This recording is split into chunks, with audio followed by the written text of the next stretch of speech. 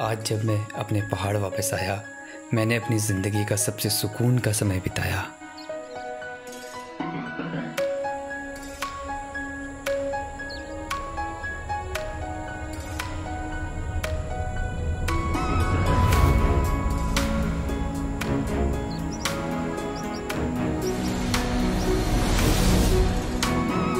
So guys ये एक उत्तराखंड का पर्व है। जब भी बसंत ऋतु आती है हमारी तो यहाँ पे छोटे छोटे बच्चे घर घरों में जाके डेली में फूल और चावल इत्यादि याद है वो दिन जब हम फूल दे छम्मा दे करते, लोगों के घर घर जाते। खो गए हैं वो दिन, खो रहे हैं वो त्यौहार। जब से हमारे सर में शहरों का शोर हुआ है सवार। हाय गाइस मेरा नाम हिमांशु है। मैं आप ही की तरह एक सिंपल आईटी है जो फुल टाइम जॉब के साथ साथ ट्रैवल कर रहा है। सो so, फ़िलहाल आज मैं हूँ अल्मोड़ा में। ये मेरा चौथा दिन है और मैं स्टे कर रहा हूँ सुकून होम स्टे में। तो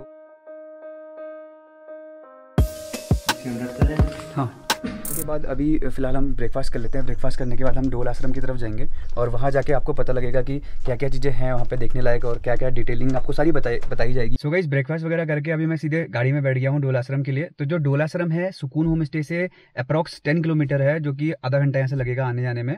सॉरी एक साइड में आधा घंटा।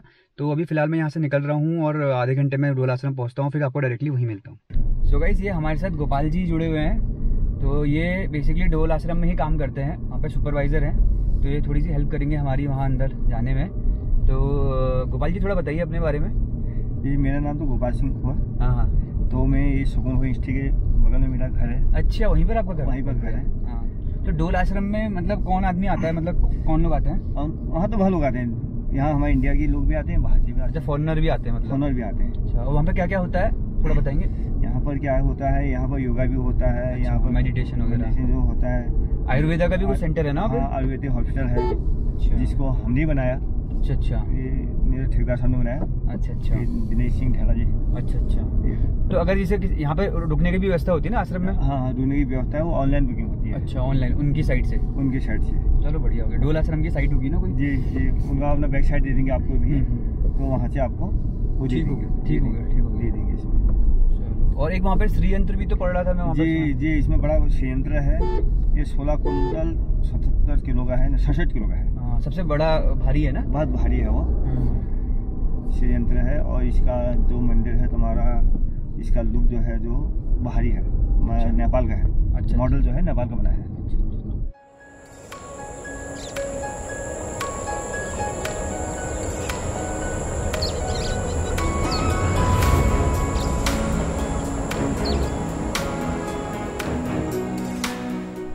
सो गाइस ये हम पहुँच गए डोल आश्रम। यहाँ पे पार्किंग की व्यवस्था है पूरी प्रॉपर तो हमने गाड़ी यहाँ पे लगा दी है। तो ये है यहाँ पे मेन गेट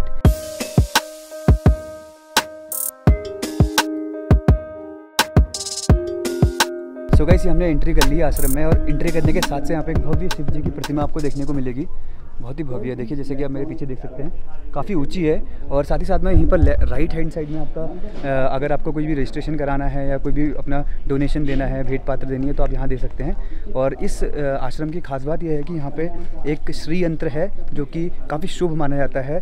बोला जाता है कि जब महालक्ष्मी एक ज़माने में, बहुत पुरानी बात है वैसे तो एक ज़माने में जब धरती छोड़ के चले गई थी वैकुंठ। तो विष्णु भगवान और ब्रह्मदेव ने उनको वापस बुलाने के लिए इस श्री यंत्र की रचना की थी। तो ये श्री यंत्र जो है, कहते हैं कि जहाँ भी श्री यंत्र होता है, वह महालक्ष्मी और विष्णु भगवान, श्री श्री यंत्र जहाँ होता है, वहाँ विष्णु भगवान होते हैं और जहाँ विष्णु भगवान होते हैं, वहाँ महालक्ष्मी अपने आप खींची चले जाती है। यहाँ पर एक गुरुकुल है, जहाँ पर फ्री ऑफ़ कॉस्ट शिक्षा दी जाती है बच्चों को। अगर आप चाहे तो अपने बच्चों का एडमिशन यहाँ करवा सकते हैं। और साथ ही साथ में ये वो गेट है, जहाँ से अंदर आपको वीडियोग्राफी के लिए अलाउड नहीं है तो मोबाइल कैमरा इत्यादि आप इसके अंदर नहीं ले जा सकते हैं। ये भी एक अच्छी बात है कि आपको मंदिर के अंदर मोबाइल, कैमरा वगैरह ले जाने की अनुमति नहीं है, क्योंकि उससे क्या होता है कि अगर आप जाते हो तो आप डिस्ट्रैक्ट हो जाते हो। मंदिर में जाने का मेन मोटिव ये होता है कि आप भगवान की ओर फोकस्ड हो और एक वो आध्यात्मिक की पावर जो होती है ना, उसे महसूस कर सको, उसे एक्सपीरियंस कर सको। अगर आपके हाथ में मोबाइल हो तो लोग फ़ोन वगैरह से सेल्फी वगैरह खींचने लग जाते हैं। सो गैस ये है वो श्रीयंत्र का मंदिर, जो जिसकी मैं बात बता रहा था आपको। इसके अंदर ही वो श्रीयंत्र रखा हुआ है, जो कि विश्व का सबसे भारी और सबसे बड़ा श्री यंत्र है। सो गाइस जो आपने नंदे की मूर्ति देखी अभी यहाँ पर एक पानी का कुंड बन रहा है भव्य कुंड है जो कि देखने में काफ़ी सुंदर लगेगा आने वाले टाइम में। सो so, दोस्तों जो आप मेरे पीछे ये बिल्डिंग देख रहे हैं ये सारी रहने की व्यवस्था है। अगर आप आश्रम में रहना चाहते हो तो आप यहाँ आके रह सकते हो यहाँ मेडिटेशन कर सकते हो। यहाँ बहुत बड़ी एक लाइब्रेरी है वहाँ पर अगर आपको बुक्स पढ़ने का शौक है तो यहाँ आके आप बुक्स भी पढ़ सकते हो। आप चाहो तो श्रीयंत्र की पूजा में बैठ सकते हो। ये सारी चीज़ें अवेलेबल हैं बट उसके लिए आपको ऑनलाइन बुकिंग करानी पड़ती है और आपका कोई रेफरेंस भी होना चाहिए तभी आपको यहाँ रहने की अनुमति मिलती है। जैसे आप आश्रम में आते हो तो आपको यहाँ की नियमावली को पालन करना पड़ता है जैसा कि आप देखेंगे।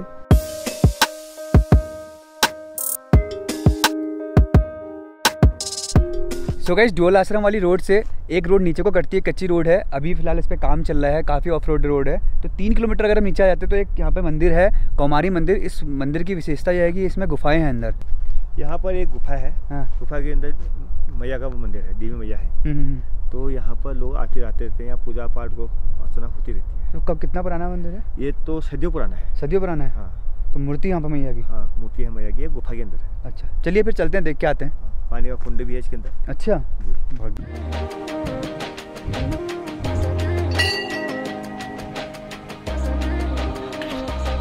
यहाँ से कितना अंदर है दादी?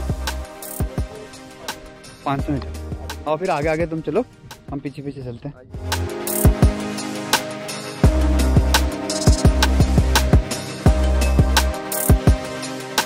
सो गाइज़ ये जो सामने आपको दिख रहा है पूरा ट्रैक करके एक छोटा सा ट्रैक करके हम यहाँ पहुँच गए हैं। ये मंदिर का प्रांगण है बेसिकली और वो सामने मंदिर है। तो चलिए अंदर मंदिर के अंदर चलते हैं। अभी भाई साहब बता रहे हैं कि यहाँ शिवरात्रि के दिन भंडारा होता है तो काफ़ी भीड़ रहती है। अभी तो मंदिर में कोई नहीं होता है। जनरली जब पूजा पाठ होती है, तभी लोग यहाँ पर आते हैं। ऐसा कोई सार्वजनिक, जनिक मंदिर नहीं है ये। तो एक बात तो ये है कि ट्रैक बहुत अच्छा है। शांति है एकदम पिन ड्रॉप साइलेंस है पूरे रास्ते में। थोड़ा सा आप अगर आते हो तो जूते, थोड़ा स्पोर्ट्स वाले या फिर अच्छे पकड़ वाले जूते लेकर आना, क्योंकि फिसलने का थोड़ा सा खतरा देखने को लगा मुझे।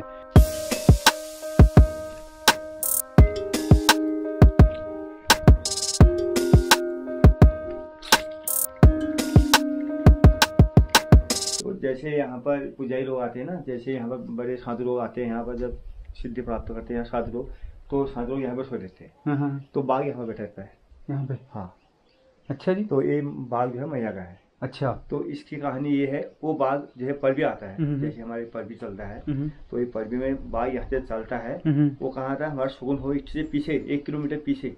तो जहाँ से बाणी मैया हाँ। और एक कषा देवी की मैया और शीतला माता दिखाई देती है। हाँ। तो वहाँ दर्शन करता है। सुबह चार बजे हम्म, वहाँ से उठता है बाघ फिर यहाँ आता है।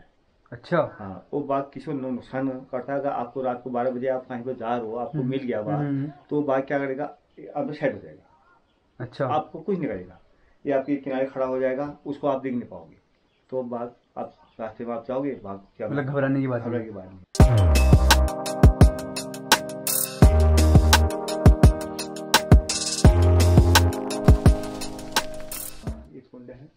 तो इसमें हम जैसे पूजा पाठ करते हैं तो इसमें से हम पानी ना धोकर तो ऊपर शिव जी भी है हनुमान जी है सब कुछ जो है चलाने के लिए? के लिए इसके अंदर कुंड है। अच्छा। तो पानी अंदर वाला पानी चलता है। अच्छा तो अच्छा। सूर्य का पानी अं- यहाँ से पानी निकलता है। तो ये पानी यहाँ से निकला फिर पानी यहाँ आता है। अच्छा। ये हुआ। अंदर चलने के लिए अलग है। चले अंदर? चलो। आइए।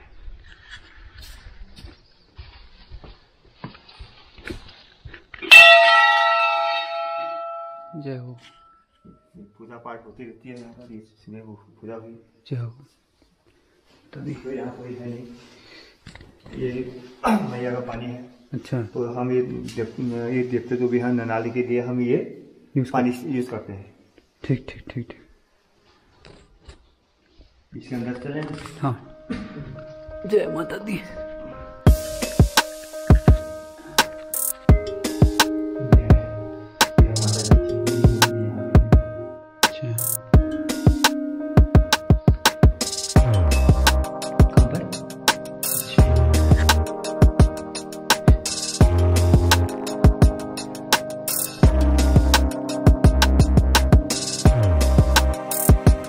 गाइस हमने दर्शन कर लिए हैं। काफ़ी शांति मिली यहाँ पर आके। एक अलग ही माहौल है अंदर मंदिर में तो इतना पिन ड्रॉप साइलेंस है। आप पाँच मिनट बैठोगे ना वहाँ पे, आपको बहुत ही अलग प्रकार का अनुभव होगा। तो आप अगर इधर की तरफ़ कभी आते हैं डोल आश्रम की तरफ़ तो इस मंदिर में ज़रूर आएँ। तो कैसी लगी आपको ये मैया की गुफा, मुझे कमेंट करके ज़रूर बताएँ। और अगर आप पहले आए हैं तो वो भी मुझे कमेंट करके ज़रूर बताना।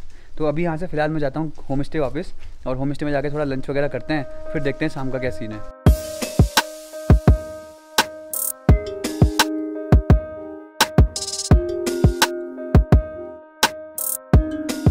So guys it's time to say good bye to Sukoon home stay तो मैं यहाँ बेसिकली दो दिन रुकने का प्लान था बट यहाँ चार दिन रुक के गया हूँ। और यहाँ मैंने वर्क फ्रॉम होम भी किया, काफ़ी मज़ा आया। यहाँ से जाने का मन ही नहीं कर रहा था, इसलिए दो दिन एक्सटेंड कर लिया था। तो फ़िलहाल अभी मैं जा रहा हूँ वापस यहाँ से हल्द्वानी। तो यहाँ से चेकआउट वगैरह करके निकलते हैं हल्द्वानी की तरफ़।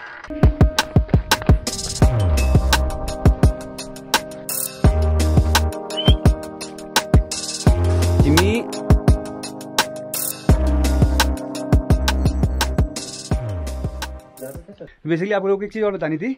जिस प्रॉपर्टी में रुका था ना, उसके ऊपर इनका एक और है। ये बेसिकली उससे भी मुझे ज़्यादा बेटर लग रहा है। अगर आपको थोड़ा सा पुरानी वाली वाइफ चाहिए तो नीचे वाली सही है। अगर नया वाला वाइफ चाहिए तो ये देखो। सो ये बड़ा ज़बरदस्त बनाया हुआ है इन्होंने। पूरा पत्थर का बनाया हुआ अंदर। फैमिली पर्पज है ना, बड़ा सही है। सोफ़ा सेट भी रखा हुआ है इधर। और देखो बेड ना पूरा उसका पत्थर का बेड बनाया हुआ है। इसके अंदर सामान रखने की भी जगह है। बहुत ही एक नंबर और देखो वॉशरूम में बहुत ज़्यादा स्पेस है। बहुत बड़ा वॉशरूम बनाया हुआ है। ये देखो। एक ये भी है।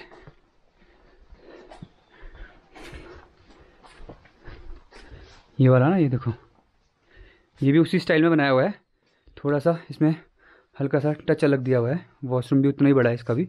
तो मुझे ये बड़ा सही लगा। और सूरज भाई को thank you so much so guys ये है वो नीचे वाला जिसमें मैं रुका हुआ था। और बाकी तो ये बस अब बाय बाय बोल दो इनको। और आपके बच्चों के झूलने के लिए एक छोटा सा झूले भी यहाँ पर अवेलेबल हैं। दो ना? छोटे छोटे सो so इस तरह से Almora orbit destination and home stays की ये सीरीज़ ख़त्म होती है और कुछ जगहें कुछ जगहें रह गई हैं, जैसे कि बानर देवी नहीं जा पाया और एक जगह और थी यार। एक वो अपना है ना, क्या नाम है, शाही देवी नहीं जा पाया और डोली डाना नहीं जा पाया। बहुत सारी जगह बची हुई हैं बट यही है कि इसी बहाने दोबारा फिर से आना होगा और आप लोगों को फिर से अल्मोड़ा दिखाना होगा। तो आप लोगों को कुछ भी क्वेश्चन है सीरीज़ से रिलेटेड या इस वीडियो से रिलेटेड आप मुझे कॉमेंट करके पूछ सकते हैं। बाकी इस होम स्टे के बारे में कुछ भी जानना है तो मैं फ़ोन नंबर उनका, जो ओनर है, उनका डिस्क्रिप्शन में डाल दूँगा। आप उनसे डायरेक्टली फ़ोन करके बुक भी करा सकते हैं और अवेलेबिलिटी वगैरह जान सकते हैं। बाकी कैसी लगी आपको वीडियो, ज़रूर मुझे कमेंट करके बताना। अगर पसंद आई तो वीडियो को लाइक करना मत भूलना। अगर मेरे चैनल में नए हो तो चैनल को सब्सक्राइब करना मत भूलना। Thank you so much for watching see you soon और शेयर भी कर देना यार दोस्तों के साथ। अल्मोड़ा वालों, कुछ तो दिखाओ भाई, यार यार।